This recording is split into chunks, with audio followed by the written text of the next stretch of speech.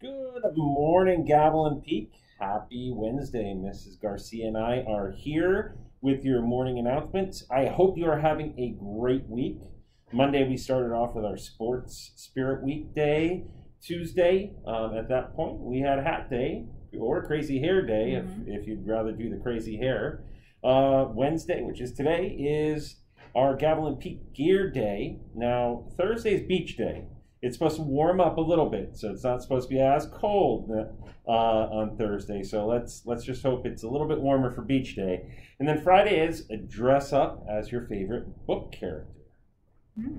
You given that one any thought yet? I have. There's so many different kind of books to to use, but what I am going to do is I'm going to use a comic book as as kind of my idea for my favorite book character. That's a good choice. I like that. Yeah. How about you? I'm honestly having a hard time. I love to read and I love a good book, so I'm going to have to pick my absolute favorite, but you're going to have to wait and see what I come up with. So stay tuned. We will see what Mrs. Garcia is going to pick on Friday.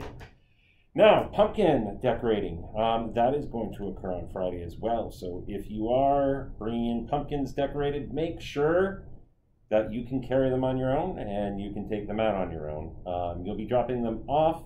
There'll be an area outside in the courtyard, the plaza area, uh, for you to drop them off as you bring them in. So look forward to that on Friday as well. As we move into the second half of our week, I want to remind you of our All Things EQ motto, which is I make the most out of every experience.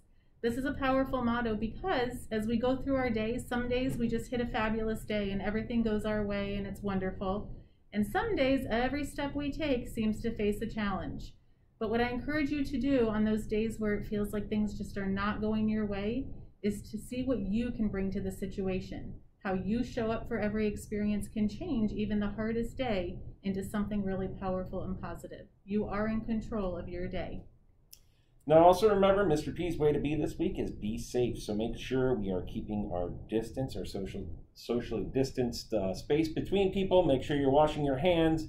Make sure you're using hand sanitizer, but also make sure you are being safe and responsible in the playground um, as we are out there with different ways uh, that that you are having recess. So we are done with our announcements today. Look forward on Friday to your favorite book character day, and we're really curious on what you're going to be, Mrs. Garcia. So have a wonderful day, and always remember We, are GP. Have a great day.